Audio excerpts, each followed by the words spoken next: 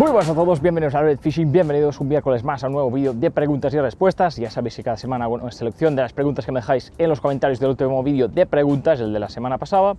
Como siempre ha habido muchísimas, selección muy difícil porque muchas preguntas son muy interesantes, así que espero que os gusten las de esta semana. Como siempre, ya sabéis que podéis dejar en los comentarios de este vídeo todas vuestras dudas y preguntas para que las responda en el vídeo de la semana siguiente. Si ya habéis dejado preguntas y no las he respondido, podéis volver a dejarlas. A veces me dejo algunas que me parecen interesantes para que el vídeo no dure 5 horas. Así que bueno, como digo, vamos ya con la selección de esta semana, a ver si os gustan. Empiezo con una pregunta que me habéis hecho muchísimos, en este caso una de David Navarro, que me pregunta si este año no voy a por llampugas. Este año no habéis visto ningún vídeo de llampugas en el canal, las he encontrado muy poco, también he ido relativamente poco a buscarlas, no he ido mucho a las zonas donde, donde normalmente suelen estar y las veces que he ido, como digo, casi todas no las he encontrado. Algunas veces sí las hemos encontrado y seguramente el próximo lunes tendréis vídeo de pescando llampugas desde, desde Costa con Señuelos, además con un par de invitados especiales en el, en el canal que tuvimos la suerte de, de, encontrar las llampugas, o sea que no os perdáis el blog de, de la semana siguiente. Pedro García me pregunta qué paseante le recomiendo para pescar los palometones o lubinas. Si es un paseante que te sirva para los dos peces, seguramente tendrás que escoger algo que no sea exageradamente grande, porque no me dices el tamaño de los, de los peces. Los palometones son peces que llegan a los 50 kilos, o sea que si quieres dedicarte a esos peces, que dudo que existan hoy en día, tendrías que usar paseantes muy grandes, pero si quieres algo que te sirva para las dos cosas, sí que es verdad que las lubinas también pican a, a, señuelos bastante grandes, incluso también hay lubinas bastante grandes, pero yo lo que te recomendaría son paseantes de como mucho unos 12-13 centímetros como máximo. Últimamente estoy utilizando mucho el, Grinding Wire de Whiplash Factory, también el Driving Wire para pescar con la Monster Rock para el equipo, digamos, más intermedio, o sea, caña hasta 42 gramos, carrete tamaño 4000, o sea que ya estamos hablando de, de señuelos de cierto tamaño, cierto peso, con el cual buscamos peces también de cierto tamaño y cierto peso. Pero si quieres pescar con un spinning más ligero, para mí lo que no puede faltar en mi caja en cuanto a paseantes, que además son mis señuelos favoritos, eh, son el Pugachev's Cobra de la marca IMA, el Live Wire de, de Whiplash Factory también, los paseantes de Whiplash Factory personalmente me encantan.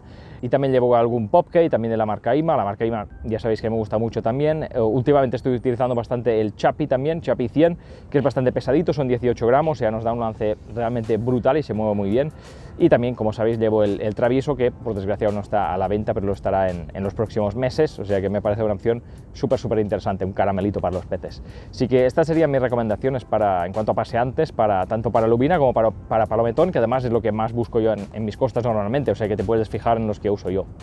Sigue una pregunta de Rubito Swimmer, que la he cogido porque tenía muchos likes y en este caso me dice ¿por qué no me planteo crear algún, mino o algún paseante y probarlo en alguno de los vídeos? Bien, si os interesa el tema, pues dejádmelo en los comentarios, hacedme alguna propuesta. Lo primero que se me ocurre es hacer algún popper, que son algo más fáciles de, diseñar, de fabricar, de que se muevan bien. Sea que podemos hacer un vídeo en el cual fabricamos un señuelo y lo vayamos a probar. Como digo, podéis dejarme en los comentarios si tenéis alguna sugerencia. Lo primero que se me ocurre es algún popper y pintarlo de color abeja, ¿por qué no? He cogido esta pregunta de, mi amigo Joseba Miquel, que su canal se llama Mucha Tinta, lo ha, lo ha abierto hace poco y como os podéis imaginar eh, trata sobre la pesca de, de calamares, de cefalópodos, de egging al fin y al cabo, o sea que os dejo el enlace por aquí arriba, como muchos me preguntáis por la pesca egging, pues os dejo su canal para que vayáis y os suscribáis porque realmente sabe muchísimo del tema, o sea que como digo, espero que visitéis su canal y os suscribáis porque me parece súper interesante. Y si queréis que hagamos algún vídeo juntos, pues dejadlo también en los comentarios, podría estar bien hacer, hacer algún vídeo de egging con él y aprender un poco más. Sigue una pregunta de Iñaki53, que me hace una pregunta creo que muy interesante, sobre todo para los que empezáis, y es que me pregunta si todos los carretes de Shimano del mismo tamaño, me pone el ejemplo de un 5000, si tienen el mismo tamaño tanto en capacidad de hilo como volumen, o si bien tienen distinto tamaño dependiendo de si son de gama más alta o más baja, o depende más bien del modelo en concreto.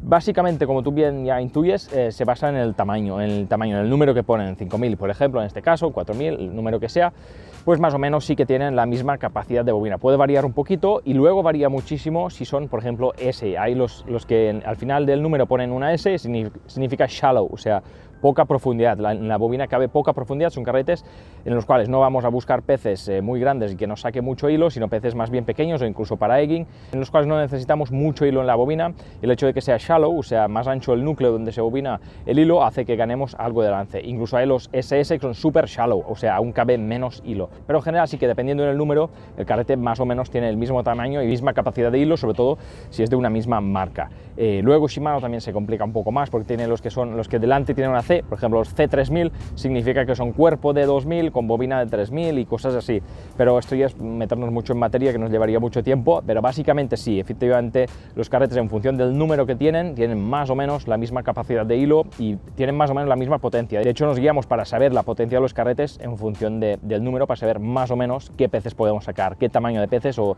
de qué potencia. Sigo Rafael Puebla que me pregunta si pescar en una zona donde pasan muchas embarcaciones es bueno o si es malo y debemos buscar básicamente otra zona o si los peces se llegan a acostumbrar. Yo prefiero que en el agua no haya nada, o sea, prefiero que no haya nada que no sea natural que pueda estorbar.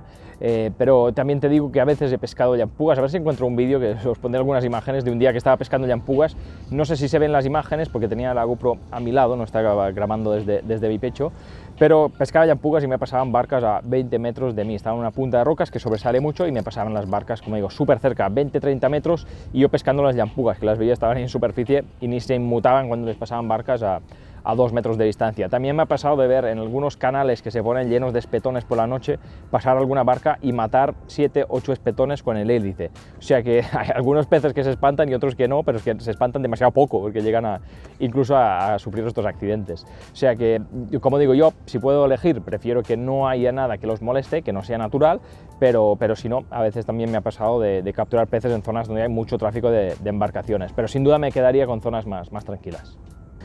Manuel Jesús me pregunta qué tamaño máximo de señuelos se podría usar para coger lubinas y palometones, anjovas de tamaño medio, 0,5, 1 a 1,5 kilos. Bien, esto es un poco cuestión de lógica, usar señuelos que más o menos le quepan en la boca, básicamente. Si utilizas un paseante de 20 centímetros para pescar palometones de, de 500 gramos, el paseante va a ser tan grande como el palometón. Se puede llegar a picar, pero no es lo más ideal. O sea, yo te recomendaría un equipo de rock fishing y paseantes o señuelos realmente pequeños, de hasta 7, 8 centímetros, 10 centímetros como mucho. Es lo que yo te recomendaría. Sí que es verdad que para las anjovas, a lo mejor te diría, si, si son de un kilo y medio, a lo mejor sí que iría mejor un equipo de spinning ligero para poder usar señuelos más grandes y que no te corten tan fácilmente el bajo. Si utilizas señuelos muy pequeños para las anjovas, puede que te cojan el, todo el señuelo, incluso el bajo, y ahí te corten. O sea, hay que tener un poco en cuenta eso, pero por lo demás, con, el que, con un equipo de rock fishing, peces de hasta un kilo y medio, puedes sacarlo sin, sin problemas y por lo tanto puedes usar esos mismos señuelos que, que usaríamos para, para rock fishing, con mucho 8 o 10 centímetros, pero no hay tamaño máximo. Sigue una pregunta que también me hacéis algunos, en este caso de José Antonio, y me pregunta si una caña de egging sirve, pues, egging es, para quien no lo sepa, es pescar cefalópodos desde costa, sobre todo calamares y sepias, si sirve para mover otros señuelos que no sean los pajaritos que se utilizan para, para estos cefalópodos eh, dentro de su acción. Bien, eh, sí que te sirve, es lo que comento siempre, cualquier caña te sirve para hacer spinning. Cuando usamos cañas específicas para una cosa en concreto es para tener comodidad, para que nos haga el trabajo más fácil. Puedes utilizar hasta una caña de 4 metros de surfcasting y hacer spinning con ella, pero te vas a cansar un montón. Como digo, eh, al final pagas por tener comodidad, básicamente. Pasa lo mismo con los carretes de gama más alta. Pagas por tener comodidad, pagas por tener suavidad, para evitarte alguna peluca y poco más. O sea, y algo de durabilidad también, claro. Pero realmente cuando utilizas algo específico lo que ganas es comodidad. Puedes usar señuelos de spinning con la caña de egging. Lo que las cañas de egging suelen ser algo blandas para no desgarrar a los, los tentáculos de los calamares o sepies normalmente. Por lo tanto, a lo mejor mover un paseante, si la caña es un poco larga, te va a ser un poco complicado. Teniendo estas cosas en cuenta, sí que te puede servir, pero no sea lo más cómodo. Sigo un comentario de Black SMI que lo he cogido porque responde a la pregunta de uno de vosotros que me hacíais en el anterior vídeo y era sobre si funciona el darting en agua dulce. En este caso, eh, este compañero me comenta que ha pescado bass, carpín, carpa, cacho, perca y trucha. Yo os comenté que para lucio y trucha sabía que, funcionaba, pero este compañero nos indica que para todas estas especies también sirve el, el darting, que incluso alguno más me, me comentaba que para bases incluso hay veces que solo le funciona el darting, o sea que una técnica muy interesante para los que pescáis en agua dulce. Javi Montero me pregunta si prefiero carrete Shimano o Daiwa, que es un tema de polémica. Hoy en día me comenta, realmente no es de hoy en día, es de hace muchísimo tiempo. Evidentemente son las dos marcas punteras de carretes eh, que hay en el mundo, realmente. Las dos son japonesas, mucha tecnología, muy, buenos, muy buena calidad de, materiales, sobre todo en sus gamas más altas, pero sus gamas más bajas también funcionan muy bien, aunque no sean carretes de apenas 30 euros. Eh, yo prefiero los Shimano por estética, pero no por nada más. Si un día encuentro un Daiwa que me guste, a lo mejor si lo necesito lo voy a comprar y voy a usar un Daiwa. No me cierro puertas en cuanto a marcas en ningún aspecto, en carretes pues tampoco. Eh, como digo, me gusta mucho más la estética de los Shimano. Es algo totalmente subjetivo, algunos dicen que les gusta más Daiwa, algunos les gusta más el pickup ese reforzado de Daiwa, a mí me gusta más el pickup mucho más finito que tienen los, Shimano. Eh, como digo, es algo totalmente subjetivo. Creo que más o menos en las mismas gamas tienen más o menos la misma durabilidad, etcétera, etcétera. El, el Shimano más antiguo que tengo ahora mismo es el de tamaño 1000, lo tengo desde 2011, o sea, estamos hablando de 8 años, lo, lo compré justo en noviembre además, o sea que 8 años justos. He sacado literalmente miles de peces con él porque lo utilizo para rock fishing y rock fishing es la técnica donde más peces capturo porque son más pequeños, pero he capturado muchos peces muy sobredimensionados para, para ese carrete que es para agua dulce y pescar peces muy pequeños.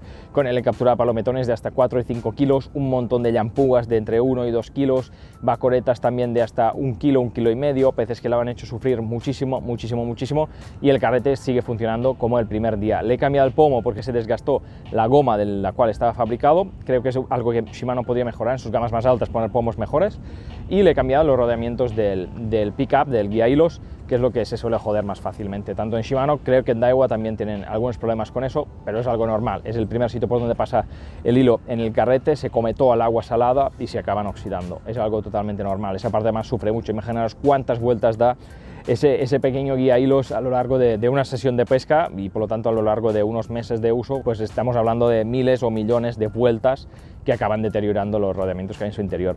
Pero por lo demás me funcionan perfectamente, o sea, me están durando muchísimo y estoy muy contento con ellos, además de que la estética me, me encanta de esos carretes. Por eso uso además los, los de 2008, que a día de hoy son los que me gustan más, aunque seguramente cambie pronto el, el 2500, tengo algo pensado y, y, a lo mejor lo cambiaré, pero seguramente será, será también un Shimano. Kaz Calógero me pregunta cuánto pueden durar los nudos. Me dice que el FG que enseñé en algún vídeo dice que le parece muy útil, pero que en condiciones de viento, lluvia y tal le cuesta un poco hacerlo. Bien, yo normalmente los uso dos o tres salidas, como te comentaba en los comentarios de, del propio vídeo.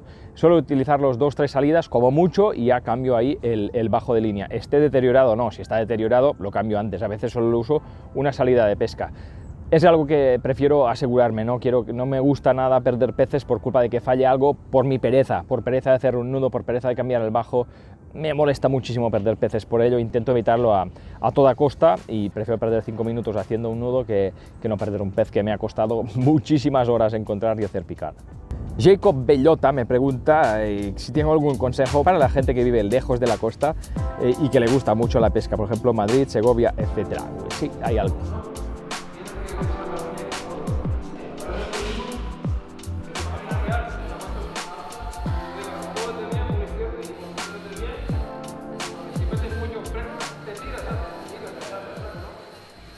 Una máquina que tiene 200 litros de freno, Y acabo con Niall Oldbridge, que me pregunta si creo que tiene sentido comprar gafas especiales para pescar.